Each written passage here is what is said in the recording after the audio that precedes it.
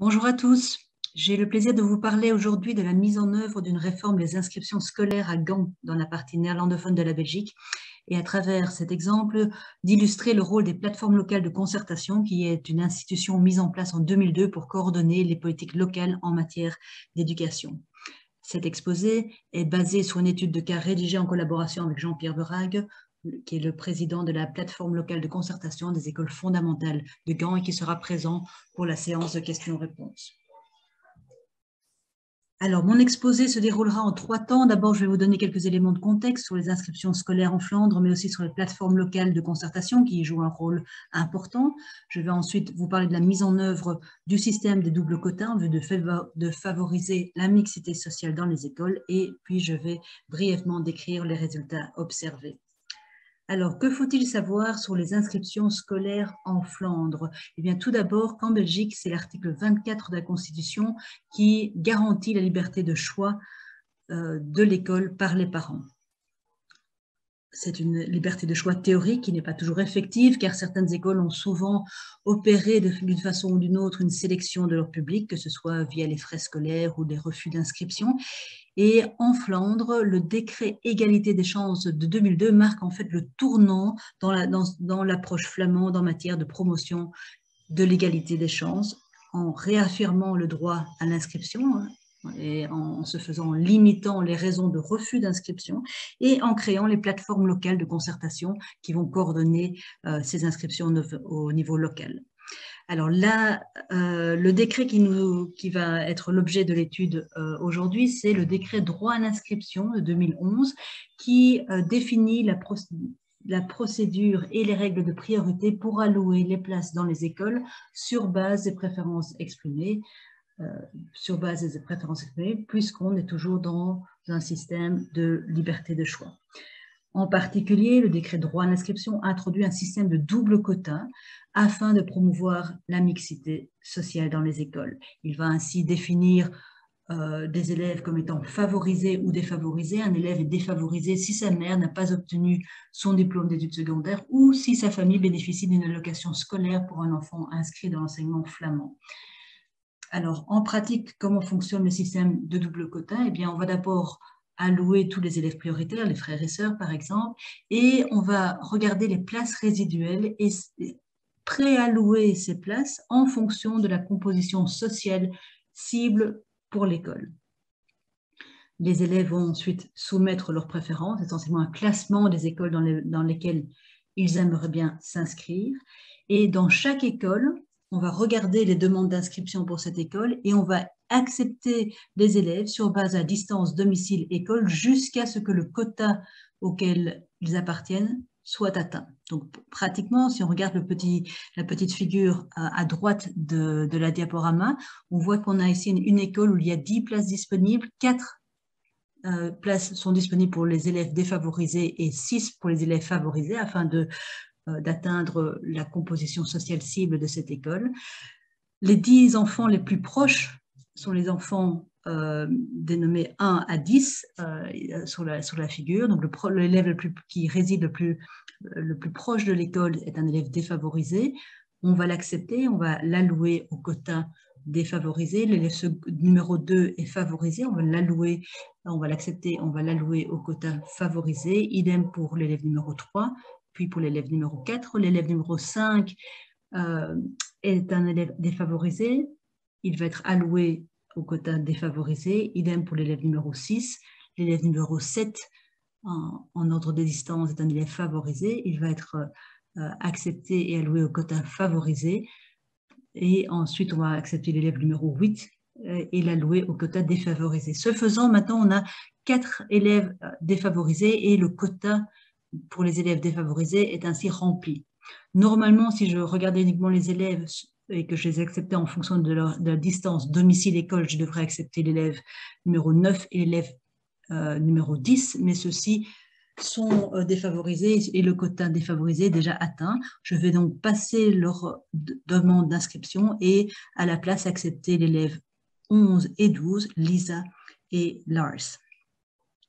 Alors, ce faisant, euh, il y a plusieurs choses qui se sont passées. D'abord, j'ai un petit peu euh, euh, j'ai accepté des élèves un peu plus loin que je n'aurais accepté s'il n'y avait pas eu de quota. Première chose. Deuxième chose, par contre, j'ai atteint euh, ma composition sociale mixte, puisqu'en définitive, j'ai accepté quatre élèves défavorisés et six élèves euh, favorisés. On peut en fait montrer que cette procédure optimise la mixité sociale tout en respectant les préférences parentales, puisque je n'ai considéré que les demandes exprimées pour l'école et euh, les autres critères, comme celui de la distance, par exemple. Alors, les plateformes locales de concertation qui ont été créées par le décret de 2002 euh, sont vraiment euh, au, cœur du dispositif. Elles rassemblent tous les acteurs de l'éducation dans une zone géographique. Et donc, on parle ici de toutes les directions et pouvoirs organisateurs d'école, indépendamment du réseau, public, privé, confessionnel, non confessionnel, les centres d'orientation, ainsi que des représentants des syndicats, d'associations de parents d'élèves et d'associations socio-économiques et socioculturelles, par exemple l'association de lutte contre la pauvreté, de défense des minorités, etc. Donc ça, c'est particulièrement remarquable. Deux choses qui sont en fait remarquables, c'est qu'on rassemble pour la première fois en Belgique, en Flandre en tout cas, des écoles de différents réseaux et on rassemble également des écoles, donc des acteurs de, du monde de l'enseignement avec d'autres acteurs socio-économiques, socioculturels. Les missions des plateformes de concertation locales sont la promotion des conditions d'apprentissage et de développement de tous les élèves, en particulier la lutte contre l'exclusion, la ségrégation, la discrimination et la promotion de la cohésion sociale.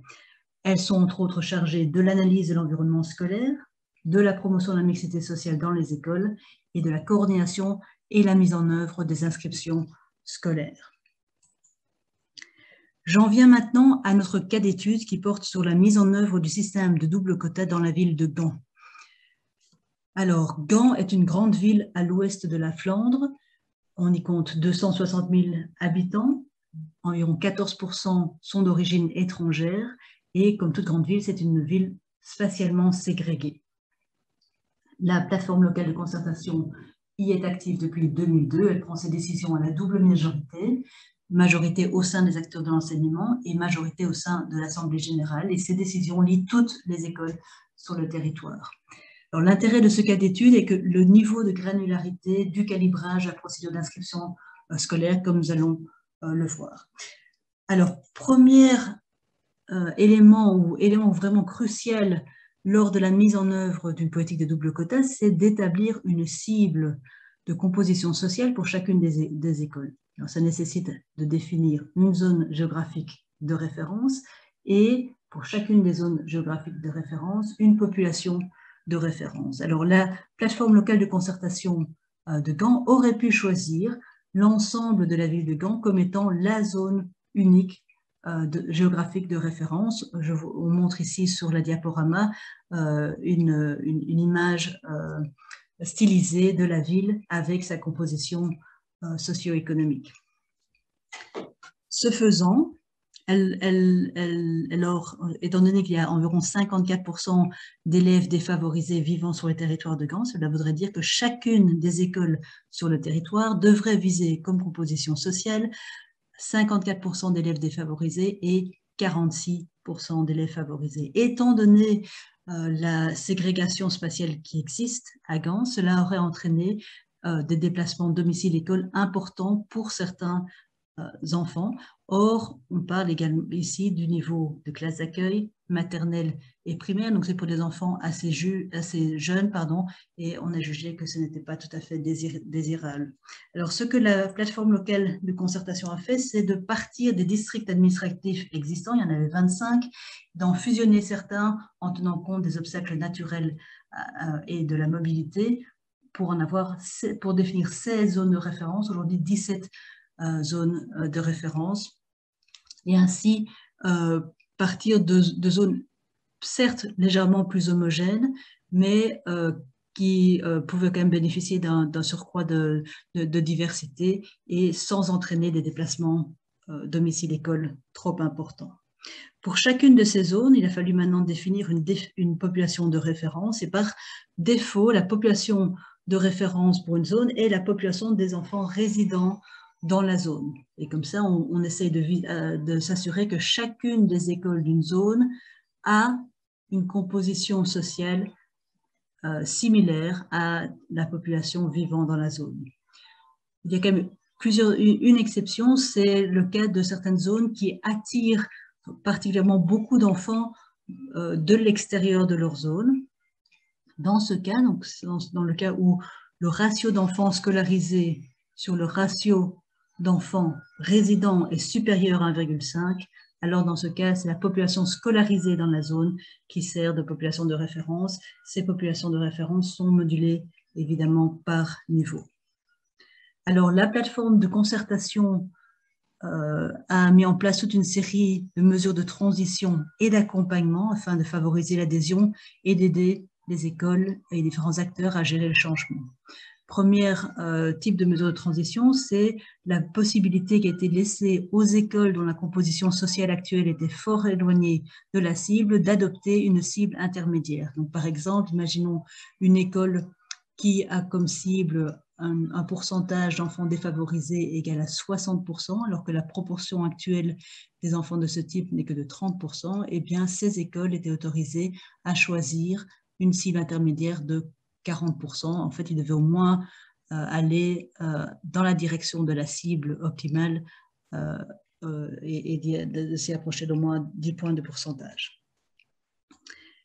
Il y a également eu toute une série de campagnes d'information sur la procédure d'inscription des inscriptions scolaires et une mobilisation des acteurs locaux pour, favoriser la, participation des parents à la procédure, ainsi que l'organisation de promenades de quartier avec visite d'école afin d'encourager la demande venant d'un public aussi varié que possible dans chacune des écoles. Donc là, on voit de nouveau la, valeur de la plateforme de concertation locale qui regroupe tous ces acteurs. Ces, associations ont pu vraiment aider et soutenir les efforts de la plateforme d'encourager la participation euh, des différents, de tous les parents à la procédure puisque évidemment le, double quota ne s'applique qu'au sein de la procédure. Une fois la procédure d'inscription terminée, clôturée, euh, il ne reste en fait euh, que les, parents ne peuvent choisir que parmi les, les, les, écoles qui ont encore des places disponibles. Alors, le système est évalué chaque année et la procédure, les paramètres sont adaptés en fonction des retours du terrain. Je voudrais ici mentionner deux exemples. Tout d'abord, on s'est rendu compte que l'information concernant le statut favorisé, défavorisé était incomplète était incomplète au moment de l'inscription d'aînés en classe d'accueil. Certains élèves sont considérés comme étant favorisés au moment de la demande d'inscription car leur mère a un diplôme d'études secondaires, par exemple, alors que le revenu familial les rend éligibles pour une allocation scolaire, mais cette allocation scolaire n'est pas encore octroyée parce qu'il faut qu'un enfant soit inscrit euh, dans l'école pour qu'il le soit. Et donc, on s'est rendu compte qu'on acceptait, il y avait certaines écoles qui euh, semblaient a, priori atteindre leur cible, et puis a posteriori, une fois que certains enfants étaient reclassés euh, défavorisés, euh, se retrouver avec une, mixité sociale euh, qui n'était pas satisfaisante. Euh, dans ce cas, on, a permis, on a d'abord travaillé un peu sur les, utiliser des cibles spécifiques simplement sur mères sans diplôme plutôt que enfants défavorisés et on a également laissé les écoles calibrer exactement cette cible en fonction de leur public afin que, que, ce soit le plus proche possible de, de l'objectif visé. Deuxième euh, exemple, c'est le cas des petites écoles euh, pour lesquelles l'application du quota résultait parfois euh, dans un nombre très limité d'enfants favorisés dans une classe. Et donc parfois, il n'y avait que deux ou trois places pour les enfants favorisés. Or, il faut savoir qu'en tout cas à Gand, le statut défavorisé est fort lié au statut d'être alloctone, en tout cas de ne pas parler le néerlandais à la maison et cela inquiétait certains parents de savoir que leur enfant serait le seul ou bien simplement un des deux ou trois enfants de, la classe euh, à ne pas parler, euh, pardon, à parler le néerlandais à la maison, comme les classes d'accueil sont évidemment un moment crucial de la, de la socialisation pardon, des enfants et du développement euh, du langage. Et là, la solution était euh, d'adopter un plancher minimal de 5 enfants pour chaque catégorie, indépendamment de la, de la cible. Euh, et ce, ce, plancher était assoupli pour les écoles dans les quartiers aisés, puisque là, ça ne posait pas de problème. Voilà, maintenant que nous avons passé en revue les choix opérés à Gand dans le cadre de la mise en œuvre du système de double quota, il est temps de brièvement discuter les résultats observés. Alors, peut-être tout d'abord, à titre de, préambule, il est utile de noter qu'il ne faut pas trop attendre de ce système de double quota tel qu'il a été conçu. Euh, pourquoi? Parce qu'il n'intervient qu'en seconde ligne, une fois, une fois que tous les élèves prioritaires ont été admis. Et donc, l'effet principal attendu est vraiment simplement au niveau des classes d'accueil. Deuxièmement, il n'intervient qu'en cas de demande excédentaire et s'il y a des demandes des deux groupes pour les places dans l'école, puisqu'on est dans un système de liberté de choix.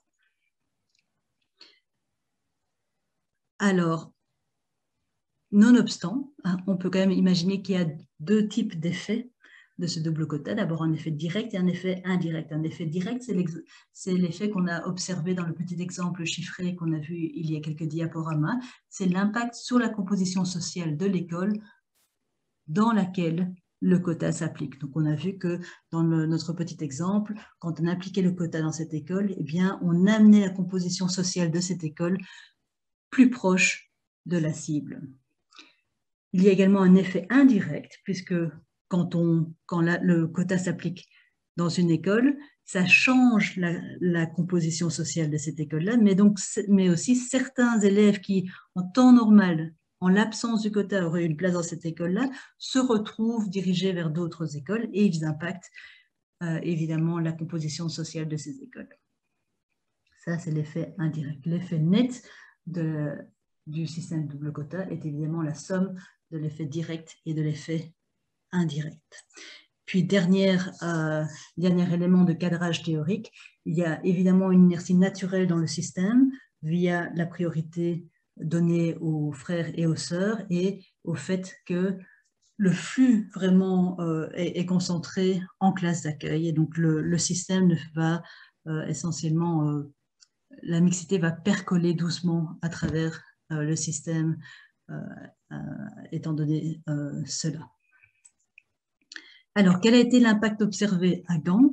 Premièrement, on a vu une augmentation de la diversité sociale dans les écoles, au niveau agrégé, euh, aujourd'hui, enfin en 9 ans, pardon, on est passé de 40% d'écoles qui étaient à moins de 10 points de pourcentage de leur cible à 60% euh, d'écoles aujourd'hui. On parle ici des classes d'accueil puisque c'est là que l'effet principal est observé.